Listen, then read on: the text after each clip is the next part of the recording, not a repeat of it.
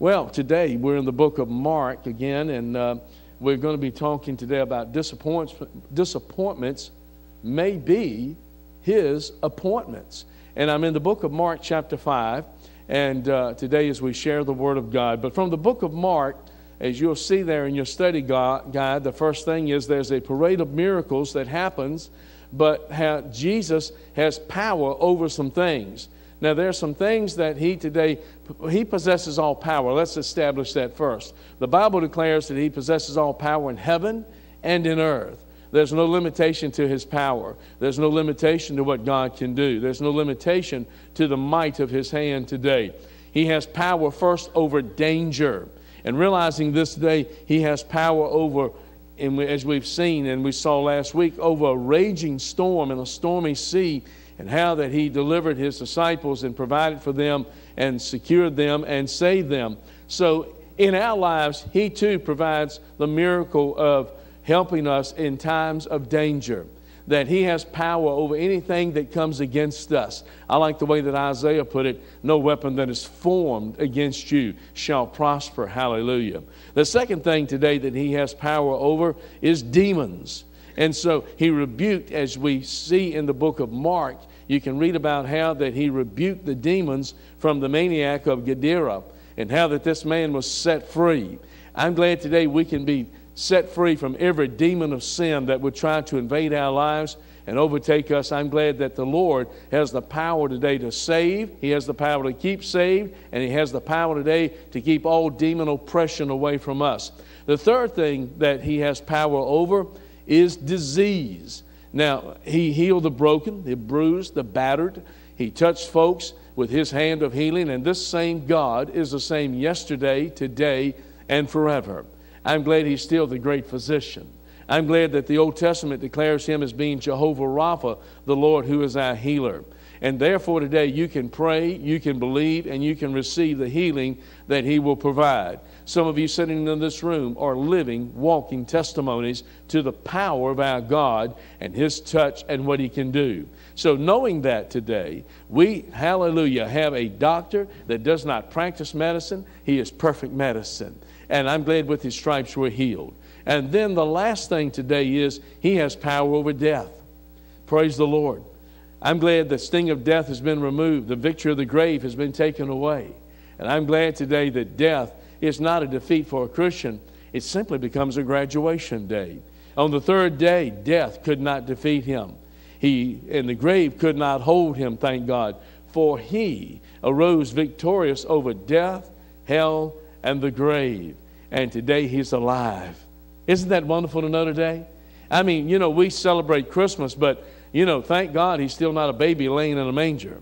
Thank the Lord that he went to a cross 33 years later and he died there, placed in the tomb, but on the third day he won. And folks, I'm glad today in Christ we are winners through his power that he has over death today. Well, I got a little story for you today. Did you hear about the pastor who was preaching on death? Speaking of death, he said, Every member of this church is going to die. And a little boy on the front row started to giggle real low. Well, the preacher didn't like that, so he increased the volume and he turned it up a little bit more and he said, Every member in this church is going to die. Well, the little boy then just simply laughed out loud. He thought that was the funniest thing. The preacher stopped and said, Son, what's so funny about that? The little boy said, I'm not a member of this church. All right. All right. Remember or not, everybody's going to die, right?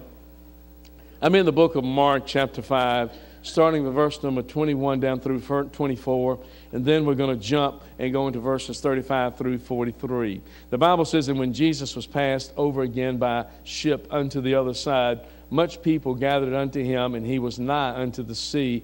And behold, there cometh one of the rulers of the synagogue, Jairus by name, and when he saw him, he fell at his feet and besought him greatly, saying, My little daughter lieth at the point of death. I pray thee, come, lay thy hand on her, that she may be healed, and she shall live.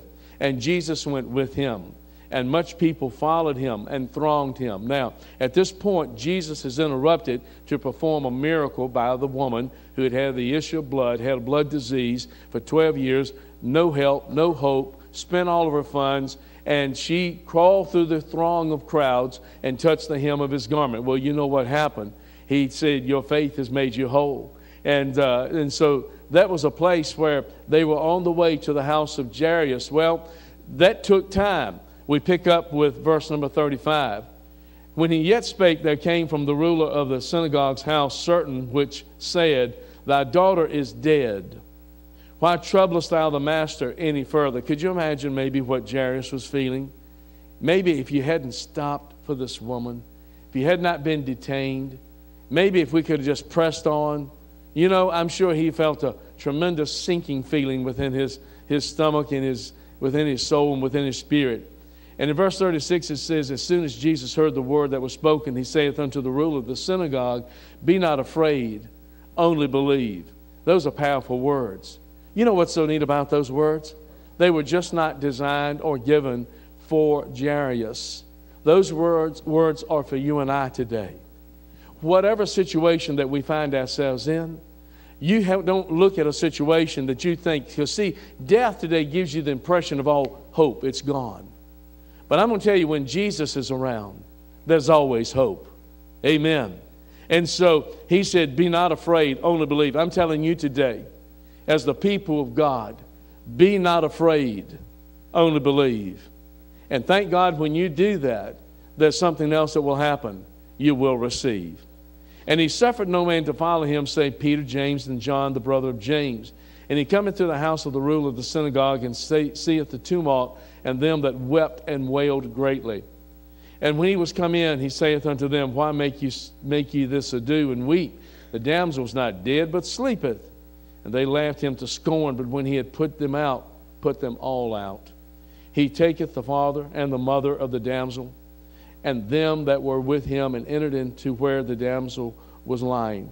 And he took the damsel by the hand and said unto her, Talitha, cumi, which is being interpreted, damsel, I say unto thee, like I like this word, arise.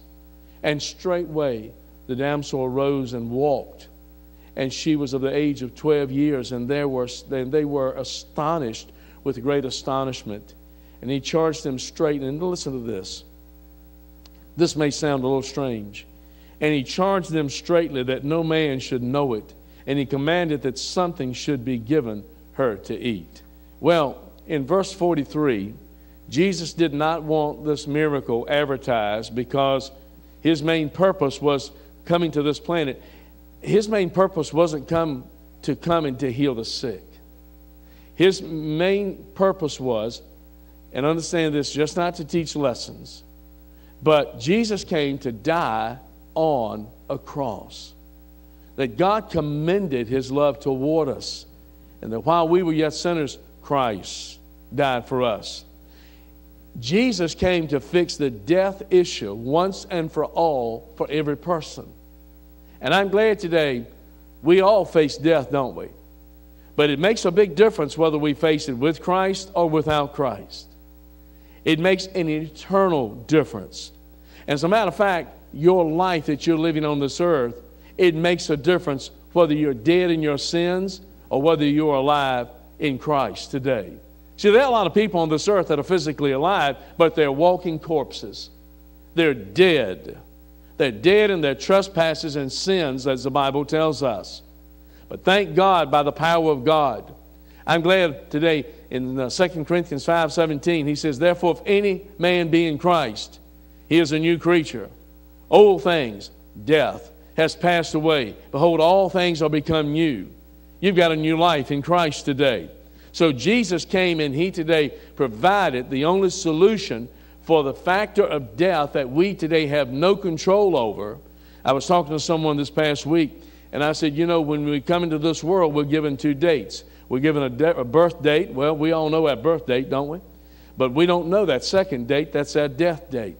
But it's so important that we prepare for that date.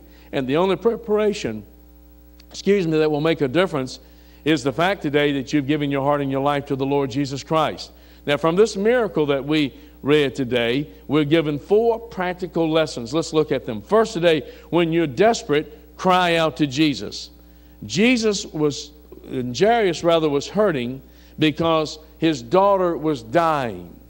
And so, can you imagine the pain and the frustration that Jairus was feeling and must have felt at that particular time as he stood and he watched his only child grow weaker with no hope? It's a tough thing to lose a child. Some of you have, as we have. And I'm telling you, it's not easy, but God's grace is sufficient. Finally, in desperation, he ran. He knelt before Jesus. He began begging him for the help that he hoped that he could supply. And understand this about Jairus. Sure, he was a man of prominence and a man of wealth and a man of respect, but this man was a ruler, and uh, at this, and he was part of what we would call the Jewish tradition of leadership, and they were not applauding Jesus, they were opposing Jesus. So for him to come and desire for Jesus to come and touch his daughter, something had to be happening with him. For Jairus to run and fall at the very feet of Jesus, now he's rejoicing or rejecting rather the official position of his religious, his religious leaders and his religious teaching. Something is going on. God's dealing with his heart. See, that's what God does with us when he brings us to salvation. He deals with our heart. He brings us to a place of conviction. And I believe that's what was happening to Jairus. And honestly, when you, when you have a desperate need, it often causes people to turn to Jesus. I don't know how many times that people have come, you know, to me and said, Pastor, I've got this desperate situation. I need your prayer. I need your help, and whatever it may be. And folks, you know, it has a way today to draw us. But you know, listen, we can only help people so much. Thank God, our God can help people in every need of their life. He can take care of every burden. He can take care of every situation today. And when David prayed, when he was in trouble, this is what he said In my distress, I called to the Lord. I called out to my God from his temple. He heard my voice. My cry came to his ears. And aren't you glad today that God just doesn't hear you cry, but he answers the need of your life? He doesn't sit there and say, Well, I'm, you know, I understand you got these problems or this sickness or this situation going on. And certainly, uh, I'm sorry, it's nothing I can do. I'm glad He can do something about everything. Amen. When we encounter challenges in life, our first reaction is to try and fix the problem ourselves. We always are looking for ways that we can solve what's going on. Folks, you can't solve nothing. I can't solve nothing. But we've got a God that can solve everything. We use prayer as the last resort when it should be our first choice. Amen. Pray. You know, I'm glad the Word of God, Jesus said, Ask and you shall receive, seek and you shall find, knock and it shall be opened unto you. How many times do we try to fix the messes of our lives today because we do not bother? We don't want to bother the Lord or take the time to take it to Him. Have we forgotten Jeremiah 33 3? Call unto me, and I will answer thee and show thee great and mighty things which thou knowest not. Our God's a God who answers our prayers and meets our needs. The second thing is when you're delayed, trust God's timing. We're impatient people, aren't we? I got any, any impatient people in this room this morning? Anybody impatient? I hold two hands up because I'm doubly impatient. Amen and probably many of you are too. Jesus answered Jairus' prayer by agreeing to accompany him to his home. So the first prayer was, Will you come to my home? Yes. And Jesus was on his way. However, on the way there, a crowd, of course, we know, mobbed Jesus, and a woman who had been sick for 12 years, as we talked about a moment ago, touched the hem of his garment. She was healed instantly. Her faith in Christ had made her whole. Now, what about Jairus? Put yourself today in his sandals. He has an urgent need. His daughter is physically, she's dying. He was anxious. He was nervous. Have you ever been in a place you're facing, you're waiting for an answer, you're waiting for a solution, you're waiting for something to happen, you're anxious about something? I mean, tell you what, man, it, it looks like the clock is in slow motion. One second seems like one hour, one hour seems like one day. And it just seems like you wait and wait and wait. Well, can you imagine what this man felt like? He had the answer beside him, but he can't get him to his house. He keeps getting derailed. His attention is being drawn to other people. And so he has this urgent need. Have you ever been in that attitude today where you beg God for something? You cried out, you begged God to hear your prayer, to answer your prayer, and it just seemed like sometimes the heaven becomes as brass. You need God to lay everything and everybody else aside, and you need your answer when? You need it now. I mean, you can't wait till tomorrow. You can't wait another five minutes. You want your answer now. There are four ways God answers prayer. Mark these down today. He answers prayer directly. Uh, sometimes God just gives a instant answer, quick answer. Well, it's because that's a part of God's will. It's not because you pull some string with God. It's not because that uh, you've got some uh, additional favor with God over someone else today. Let me tell you what, God sees us all on the same level. Amen. He is no respecter of persons. But He answers prayer according to His will. You can cry buckets of tears. You can throw temper tantrums and scream and holler. I'm going to tell you right now, you're not going to move God until it's time for God to move. Amen. The second thing is, He answers prayer differently today. Sometimes God doesn't give us what we ask for. you know what that means? Sometimes we get an attitude with God. Well, God didn't answer my prayers. You know why God didn't answer the prayer the way that you wanted to answer the prayer? Is because the way that you were seeking was a lesser way, and God had a greater way for you. So, therefore, today, an example is when Paul begged God to take away the thorn in his flesh. God responded and said, Hey, hey, buddy, my, my grace is sufficient for you today. So, God gave Paul the grace to deal with his affliction, his trouble. You know that same grace is available for you and I today? He'll give us the grace that we need to deal with what we're facing. Thirdly, today, he denies our request. Wait a minute. You mean God says no to me? Yes. God says no to us sometimes. And the reason that God denies our request is because it's not His will. We are asking for something that's contrary to the will of God. We must keep in mind God always knows best. You may think you know the need right at that moment, but you, if, that prayer had been answered the way that you wanted it, it could have had a great effect upon somewhere down the future. God answers prayer at the right time, the right way. So I look at it this way when God says no, it means God's got something better. Amen. And then today he delays our request. This is one that really plucks our nerves sometimes, doesn't it? This is what Jairus is facing at this point.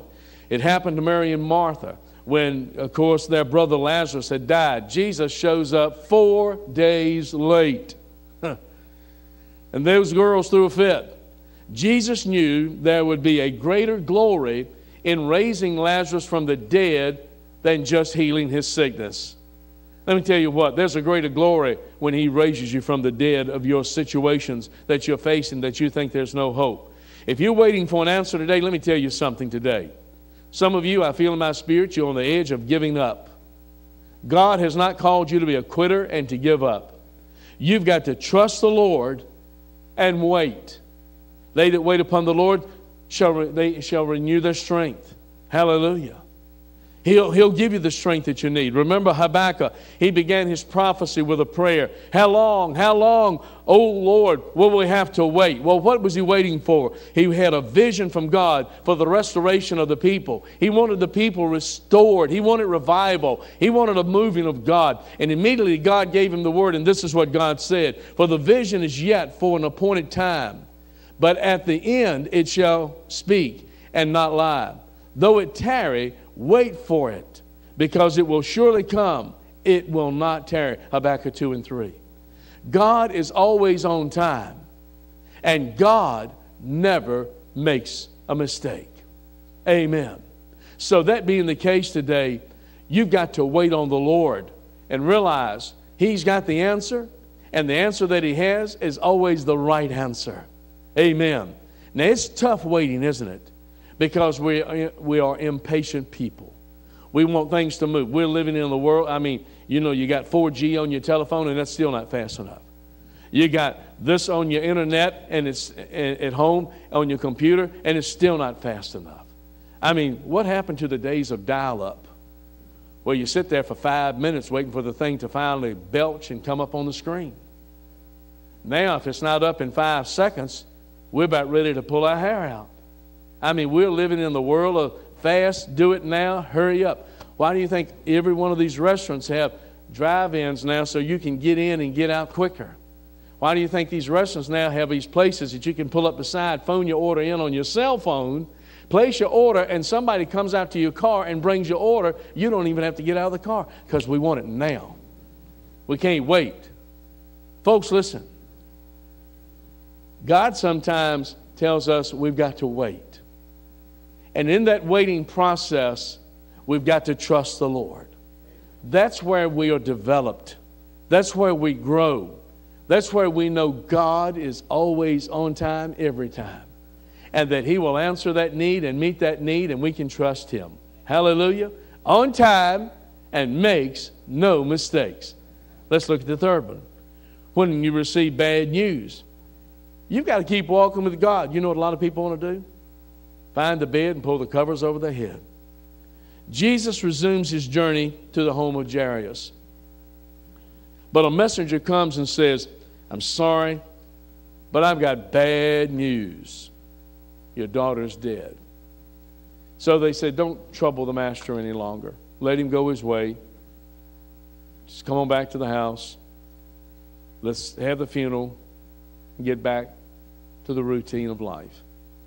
I'm sure Jairus, probably because he's already been nervous and anxious. Remember, he was a ruler in the synagogue. He didn't have the faith he didn't have the relationship with God. He had a religion, but religion does not get you into the presence of the Lord. That's man's way to God. God's way to God is through his son Jesus. And I'm sure that he collapsed in grief. Hope seemingly had just sifted through his fingers when he heard those words.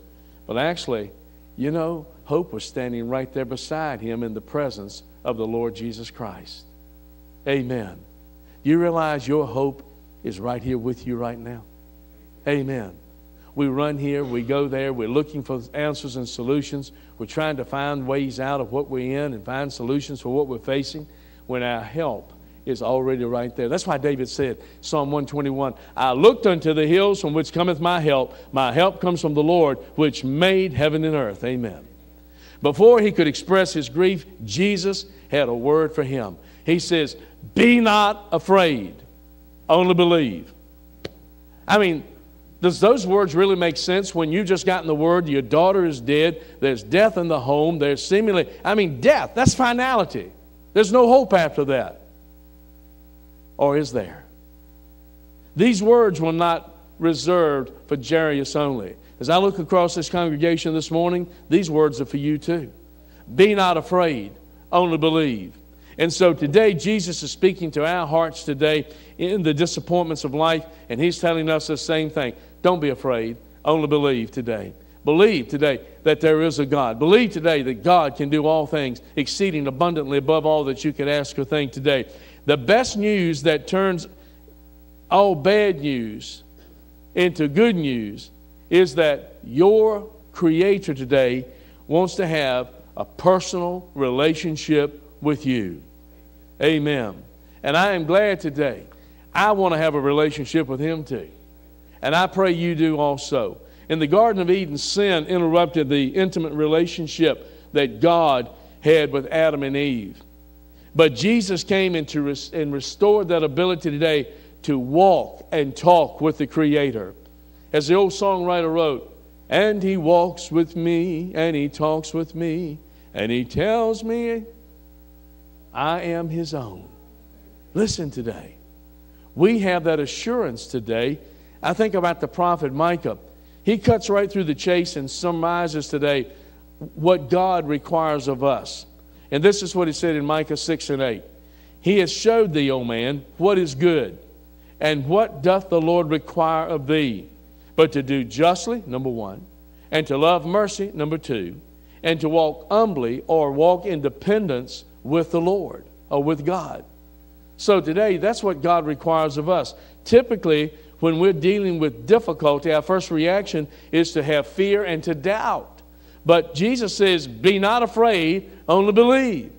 So fear says, Give up. Faith says, Never give up, only believe. You can't give up. Well, I just don't know what to do. You don't give up. You're succeeding. You're raising the white flag of defeat for the devil. There are no today defeated children of God. When God tells us in Romans 8, we're more than conquerors through him that loved us. Amen. In our world of bad news, when babies are being aborted, when people are acting like animals in Ferguson, Missouri, and when ISIS is decapitating people, innocent people, when people are being slaughtered in Iraq, and when there's so much suffering and disease today, when families are struggling to provide Christmas for their children, when morals continue to drop to all time lows today, there's something to remember today. God doesn't owe us an explanation. You can ask God why, why, why all you want to. I'm telling you, God doesn't owe you and I an explanation today. He's given us something better. He has given us today a promise. So, why do you want an explanation when today you can take a promise? Amen. An explanation doesn't always provide a solution, He is your only solution. He gives us today a promise I'll never leave you, nor will I forsake you. He has promised all things work together for good to them, to them that love God, to them that are called according to His purpose. I remember the words of the great old hymn Kelso Carter wrote it says, standing on the promises that cannot fail, when the howling storms of doubt and fear assail, by the living word of God, I shall prevail. Standing on the promises of God. Hallelujah. We've got to get off of just sitting on the premises and start standing on the promises. Amen. We've got to really today trust God. Let me give you the fourth item and I'm through. When you face death, you can claim hope. Hallelujah. Do you know what hope means? The acrostic of hope says this, and I think it says it perfectly having only positive expectations. Amen. Having only positive expectations. That's a good definitive answer for hope today. There are two times when we all need to claim this hope. One today is He gives hope when you're experiencing grief. Paul said in 1 Thessalonians 4 and 13, he said, But I would not have you to be ignorant, brethren, concerning them which are asleep, that you sorrow not, even as others which have no hope. You got hope today. Hope in Christ. We're all going to experience grief in our times of life today, but when we know Christ, you know what? Our grief is instantly turned to hope today in Him. Jairus and Jesus walked into a scene of grief. Imagine the situation. The professionals, see, they hired grievers in those days. They were on the scene. They tore their clothes. They made loud cries and wailing, and they just absolutely made a scene. They were paid to do this. They played musical instruments that was loud and chaotic. And there was tension between these professional mourners and Jesus because Jesus said, make ye, uh, Why make ye this ado and weep? The damsel is not dead, but sleepeth. And the mourners then they replied back to him and they laughed him to scorn. I mean, in essence, they're saying, don't mess with our business, man. We're getting paid to do this. This is no time for miracles, Jesus, because you're going to interrupt our cash flow. Jesus said, that's enough. He said, it's time for you guys to get out and go. Amen. The Bible says Jesus put them out. He not only told them where the door was at, he took them to it. Amen. And they were not in charge, but Jesus was. Hallelujah. In this world, the devil's not in charge, our God is. Amen. And so we find that grief is a painful process, but it's not a final destination for you and I today. God doesn't want you today to get stuck in the valley of grief. The Word of God says, Though I walk through the valley of the shadow of death, I'll fear no evil, for thou art with me. Thy rod and thy staff, they comfort me. Amen. So today, walk through but don't retain and don't remain in that place. Don't get stuck in your valley of grief today. And the second thing today, quickly, he gives hope when it's your time to die. But when Paul was facing death, death in a Roman prison cell, you know what he said about it? He said, For me to live is Christ and to die is gain. He said, Man, I'm a winner either way. Hallelujah. When you follow Jesus, you're always in a win win situation. If you love today, and live for Christ today, if you will live, your life can be today to glorify God. And even in death, it's to gain because you're taken into the presence of a mighty God. Jesus walked into a house full of death and grief and transformed it into a house full of life and rejoicing. And that's what he does when he saves us, doesn't it? I mean, today, where we were in grief and sorrow and our sin, hallelujah, when Jesus comes in, there's joy unspeakable and full of glory. Life is full of disappointments. But, folks, let me tell you, if you're looking for God, then let me tell you what, in looking to God, He today can take your disappointments and turn them into an appointment of victory for you today. Put your faith in the mighty God that He is and trust Him. What a great God we serve. And the church said, and the church said, Amen. Amen. Hey, praise the Lord a little bit. Thank you, Father, today for the time in the Word. Thank you, Lord, that we have hope, we have victory, we have Jesus. I just pray today that you'll encourage the hearts of your people and overwhelm them with your presence, your power, your grace, and your goodness. Thank you for this beautiful day. And we just pray now your blessings upon the service which is to follow. May you today have your will and your way in our hearts and our lives. May your name be glorified, exalted, and lifted up. We thank you, we love you, and we praise you. In Jesus' name, amen.